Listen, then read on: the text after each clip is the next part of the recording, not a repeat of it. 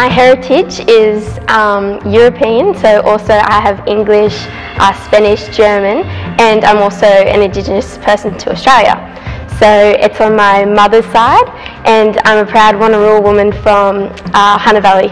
On my father's side, I am Italian, Croatian, and Slovenian from my dad's father and um, my grandma is English, Irish, Scottish and Welsh and my mum is Aboriginal from the Gamilaroi and Bigambul nations of northwest New South Wales and southwest Queensland. Uh, I'm a Wiradjuri woman from the central west New South Wales. I was born in Orange and I've got family connections right across the central west region from my grandfather's country which is Condobolin and my grandmother was born at Wellington and mum grew up in Gilgandra, so yeah, still got family all out there and, re- and, visit when we can. And I grew up here on the Central Coast, so I live now in Darkinjung country, and my children here on Darkinjung country.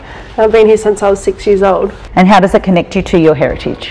Um, well, at NAISDA, because we learn traditional and um, contemporary dancing, it's another way of me to express myself in an Indigenous art form, um, also through um, kind of fusion, so Indigenous with contemporary. It's um, an extra way of me to express myself through dance that a lot of other um, people or Indigenous people don't have the chance to do sometimes. Dance is an art form, I guess you can say, um, started in Australia with Aboriginal dance. Um, as an Indigenous person, it just it feels so right when we do dance, especially when we learn traditional dances.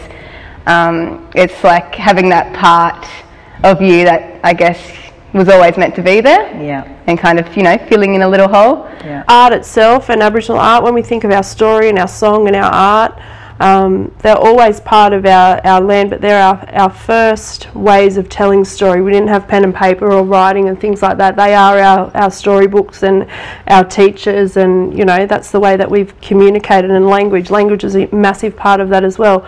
So for me, I guess it's it's that connection to my heritage and being able to still tell stories and be a, a storyteller in a contemporary society or contemporary way.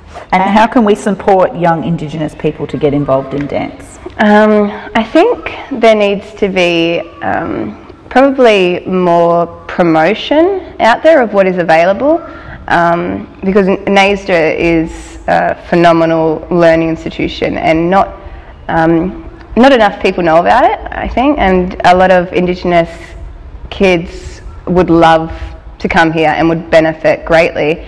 Even if you know they don't necessarily want to be a professional dancer, you still learn so much about yourself and your identity by coming here. Supporting young Indigenous people into dance, art, and culture, I think, is about us as a community just encouraging them to take whatever opportunity that is available and not just to sit back and think, oh, should I have a go? I, I should have done that because you will regret it later. And I've done it myself over the years. Like you didn't take that opportunity or you didn't get yourself out there.